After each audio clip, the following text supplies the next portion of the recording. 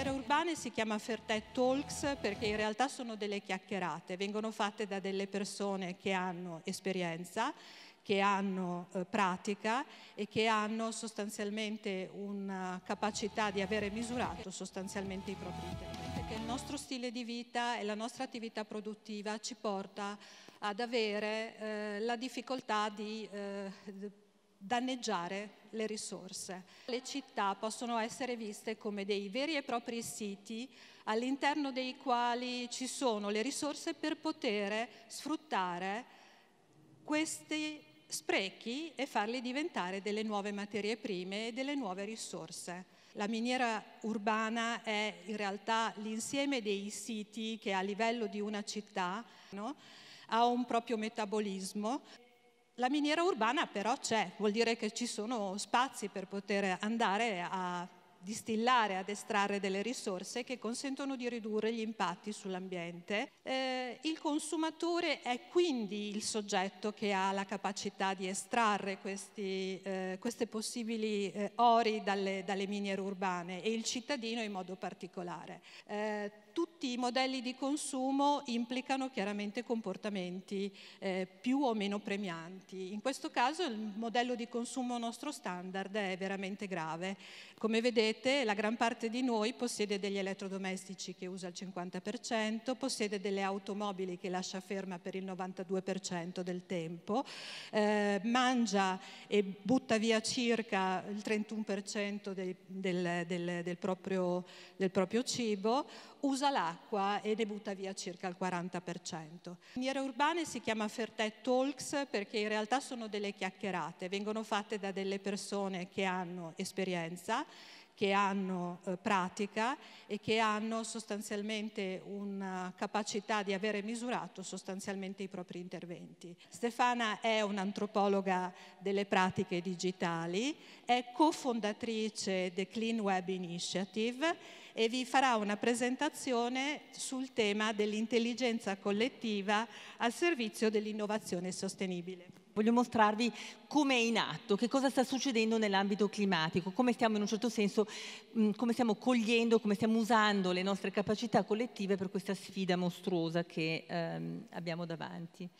Attualmente ogni giorno, e questo è il primo elemento collettivo eh, nostra, del, diciamo del, di quello che stiamo facendo, ogni giorno delle persone ci aggiungono, in un certo senso, quello che trovano online o nel, nelle loro pratiche, che ha a che fare con diciamo, dei servizi o dei prodotti per una vita sostenibile che hanno anche una componente ehm, digitale. Poco alla volta abbiamo creato questo specie di motore di, di ricerca, eh, if you want to, io parlavo, cioè, c'è specie di intelligenza collettiva nel, nella produzione, cioè abbiamo tanta gente che ci sta aiutando a costruire questa base, ma quello che secondo me è più interessante è l'intelligenza collettiva che si sta formando in, in, una, in questa comunità sempre crescente di innovatori. Uno è il fatto effettivamente di cercare di disintermediare, una delle caratteristiche, se volete, del, del web, ma anche di, di quello che noi pensiamo essere il modo in cui l'intelligenza e la cultura evolve e anche grazie all'apertura di, di, di, di, tante informazioni, per cui tante di queste cose sono aperte, sono, sono, sono disponibili e chiaramente abbiamo anche uh, iniziative sull'apprendimento, iniziative sul, di attivismo, eccetera. Però l'idea che si possa effettivamente trovare delle alternative di consumo è molto, è molto presente. Tutti questi servizi, eccetera, che hanno una componente digitale forte, hanno un ruolo importante da, gio- da, giocare nella trasformazione, perché sono degli strumenti che ci permettono non solo di cambiare le abitudini, ma anche di cambiare in un certo senso collettivamente alcune delle, delle pratiche. Buttavamo nell'indifferenziato quando proprio non se ne veniva a capo, mancando clamorosamente l'obiettivo. La nostra intuizione invece è stata di eh, creare uno strumento che aiutasse a riconoscere ogni singolo prodotto e ci dicesse per ogni singolo prodotto come differenziare. Junker riconosce ogni prodotto dal suo codice a barre. Ti indica i materiali di cui è composto e in che bidoni vanno gettati, sempre secondo le regole del comune in cui ti trovi.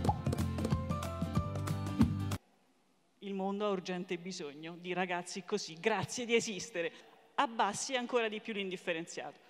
Quindi riduce ancora di più quel sacco nero in cui c'è il tutto misto, cioè Questo ci mostra quanto la collaborazione sia sentita, sia entusiasta e sia generosa. Stiamo aiutando a cambiare le abitudini degli, degli italiani nei confronti della, quantomeno della differenziata. Noi stiamo standardizzando i comportamenti di tutti, li stiamo spingendo, la chiamiamo la spinta gentile, tutti a compiere lo stesso tipo di azioni. Io ti ringrazio molto, questa è un'altra delle esperienze che vengono fatte nelle cucine perché le start-up che hanno utilizzo di tecnologia però hanno interesse a fare impatto, il più delle volte trovano uno spazio non nei garage perché sono applicative, non sono di costruzioni di prodotti tecnologici eh, hardware, diciamo, sono soprattutto software e molte sono anche le signore che ci lavorano e quindi vengono sviluppate in cucina, dove infatti Junker è stata sviluppata in cucina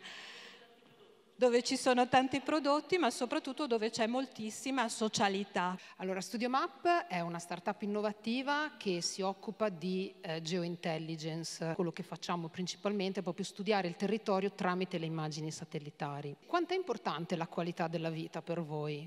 Eh, non sempre usiamo la metrica della qualità della vita per fare delle scelte. Tutti i dati, quindi da questa miniera di dati che le città producono, raccoglierli, integrarli in un, unico, in un unico, luogo, quindi sollevare il lavoro a chi aveva l'esigenza di raccogliere queste informazioni e di elaborare degli indici di qualità della vita, per appunto inserirla proprio come metrica nelle decisioni. Dobbiamo tutti insieme eh, raggiungere degli obiettivi perché abbiamo visto che eh, non è più sostenibile eh, il modello di consumo che abbiamo.